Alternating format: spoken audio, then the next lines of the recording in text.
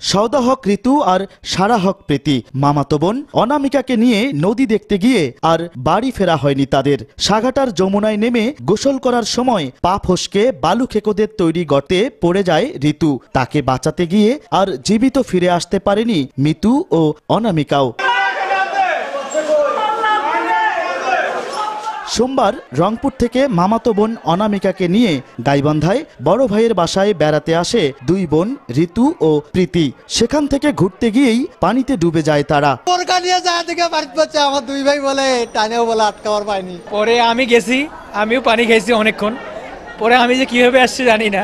পরে উঠি আমি ওকে ডাক দিছি। নদীতে পানি কম কিন্তু ডেজার কিন্তু ডেজার দিয়ে বালু তোলার কারণে ওইখানে গর্ত হয়ে গেছে। ফায়ার সার্ভিস উদ্ধার করে হাসপাতালে নিলে তাদের মৃত ঘোষণা করেন চিকিৎসক। স্থানীয় জনগণ এবং ফায়ার সার্ভিস কর্তৃক উদ্ধার করে আমরা দ্রুত হাসপাতালে নিয়ে আসি।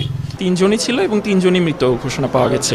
পানিতে ডুবে মৃত্যু হয়েছে। ঘটনাস্থল যমুনার পাড়েই পড়ে থাকতে দেখা যায় অবৈধভাবে বালু উত্তোলনের ড্রেজার মেশিন। তারপরও বিষয়টি অস্বীকার করেন পুলিশ ও স্থানীয় জনপ্রতিনিধি। আমার থানাতে কোনো ড্রেজার ভাবে বালু তোলা হয় না। বালু তোলাটা হচ্ছে নদীর পিছনে অনেক তো গর্ত হয়, এমনি যায় অটোতে। ঋতু, প্রীতি ও অনামিকা তিনজনই কলেজ ছাত্রী। তাদের বাড়ি রংপুর নগরীর বাবুপাড়ায়।